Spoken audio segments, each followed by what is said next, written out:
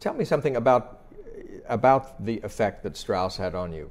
When did you first meet him, and uh, how how quickly did you realize um, his excellence? Well, uh, I returned to graduate school in September of 1944. I, I thought the war was going to be over sooner than it was. And I was not doing any war work of any significance. You had been in Washington working in the New Deal somewhere. Well, I, I began in the uh, executive office of the president, the news department, and I, I moved from there to the, I think it was the silk substitution unit. silk was cut off. Then there was a run on, uh, what's the fiber that silk substitute? Oh, rayon. Probably, Rayon, yeah. right. And, and all the companies were coming to Washington to get uh, rationing. And, uh, and I was there. You were Mr. Rayon. That's right. but I wasn't there very long. And uh, it was about a year in the War Production Board, a year in the OPA. And so, and so from then to from there to Yale. oh no, I was, uh, before I was, this is after I graduated from Yale. Oh, sorry, sorry.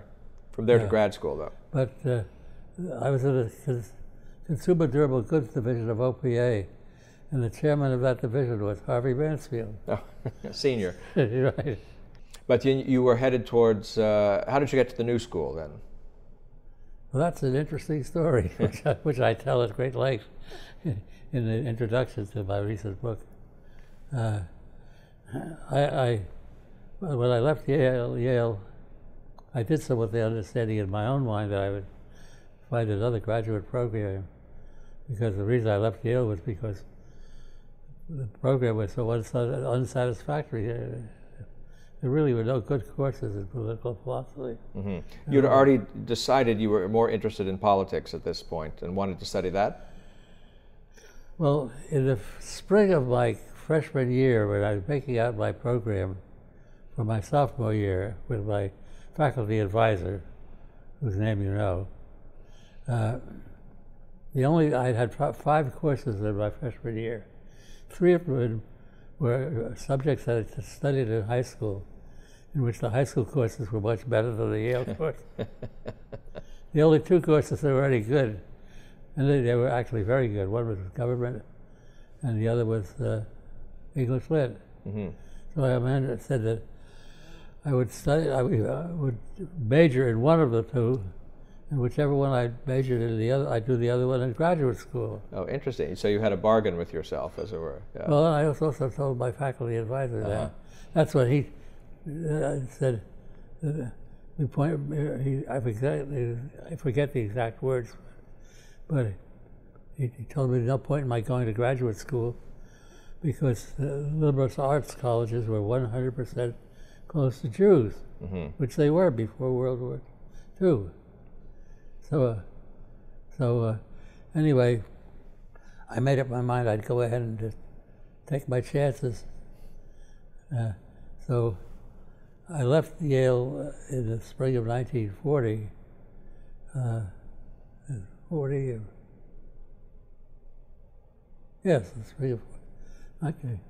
And I looked for a job. That's the only other alternative at that point Right. one which my father was worrying about much more than I was. Uh, my attitude was that he said he did such a good job supporting me. I didn't see how I, Uh-huh. I should start worrying. But I couldn't find a job in New York. The uh, unemployment was worse in New York in 1940 than it is today. And uh, casting about for alternatives, I found that there was a program run by the Civil Service Commission, junior professional assistant. And there were a number of options. And the only option for which I had uh, filled all the requirements was public administration, subject that I hated. right. So, And so you joined the New Deal at that point. well, I said try to. Right. I, I had to ta- had to take an exam, and I knew that the exam was a difficult one because some of my fellow classmates at Yale, who were getting their PhDs in public administration, had flunked the course, flunked the exam, So I, I, I looked around and I found that there was a two semester course in public administration being given at the new school by somebody named Arnold Brecht. So I signed up for that course. It was part of. I did a lot of work for that. I, all those Brookings Institute studies of the Independent Regulatory Commission. Yes, yes. I waded through those from beginning to end. and so was Strauss there at that point at the new school? He was, but I didn't know it. So it took a while to discover him. Well, what happened was that, as it turned out, that first of all, I found Brecht a wonderful teacher. I got more political theory for him. He was a neo-Kantian uh, than I had from old Coker in a whole year at Yale. Mm. And so I thought this was the place for me to go back to. And I knew that Brecht gave other courses. Uh, so when it time for me to go back to school, I went back. I got in touch with Brecht, uh, who got me a scholarship because we got along very well together. Mhm. Later on, I had a course with him on the end of the Weimar Republic, Oh. which was mhm. wonderful. Yes. He had been a judge in Weimar, Germany. So this was not a matter of theory only Right. to him.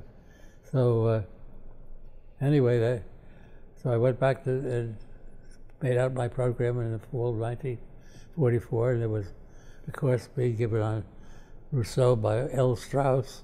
and I just walked into the walked into the classroom, a dilapidated. And that's That, that That was was- the epic meeting between that, Leo that Strauss was, that was my Jaffa. episode on the road to Damascus.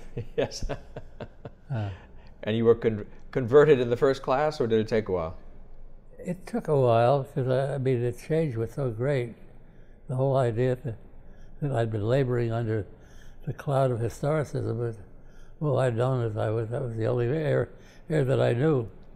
But now I saw that it was. A, uh, in fact, one of my ambitions when I graduated in '39, uh, and it remained one of my great professional objectives, the three authors who mattered most to me when I as an undergraduate were Plato, Aristotle, and Shakespeare. hmm It was my ambition to, to study Shakespeare by studying the Elizabethan drama, for, uh, by learning what the soil was out of which Shakespeare grew, as, the, Mhm. as if you study the soil instead of the flower. and And that soil included Plato and Aristotle. it did, yes, because I had this one course in classical civilization where we read a lot of, we read much too much, but So, not enough to and that's so it, it's in this cauldron of the new school with Strauss present that Harry Jaffa becomes Harry Jaffa.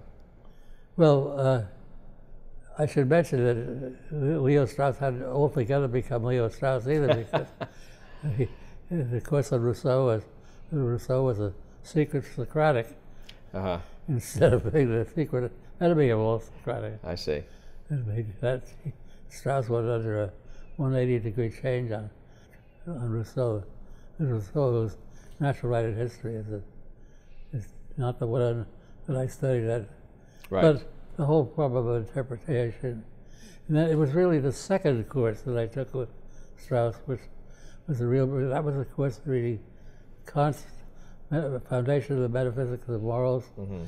and uh, the Nicomachean Ethics. Uh-huh. And it was in that course that Strauss read medieval commentaries on passages in Aristotle. And I absolutely went wild on it. And that's when I decided to write my dissertation on Thomas's commentary. I couldn't write or read the ones on, written in Arabic or, or Greek or whatever. Or Greek at that point, but Latin Yeah, but, but you this- had. Yes. Yeah. Well, that's so. That's when That's when Harry Jaffa begins to be Harry Jaffa. Right.